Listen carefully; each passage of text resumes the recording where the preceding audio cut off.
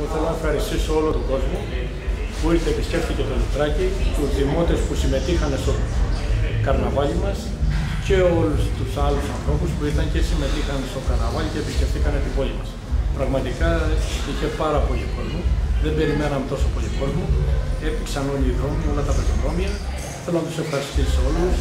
Θέλω να δώσω ένα μεγάλο ευχαριστώ στον Αντιδήμαρχο, πολιτικού μαζισμού και σε όλους τους αντιδημάρχους, τους δημοτικούς συμβούλους, αλλά και κυρίως τους δημοτικούς υπαλλήλους που φερθήκαν όλοι πάρα πολύ καλά, μας βοηθήσανε πάρα πολύ σε αυτό το δύσκολο έργο και τελείωσε η παρέλαση με τις καλύτερες προποθέσει.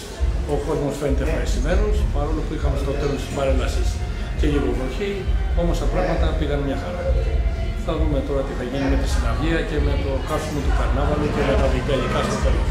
Πιστεύουμε ότι θα συνεχίσει όλο το βράδυ η διασκέδαση στην πόλη μας και εδώ και στου Αγίου Θεοδόρου που έγινε μια πάρα πολύ ωραία παρέλαση με πάρα πολύ κόσμο. Θέλω για μια φορά να τους ευχαριστήσω όλους που μας επισκεφθήκανε και πιστεύω ότι εύχομαι να μείναν όλοι ευχαριστημένοι.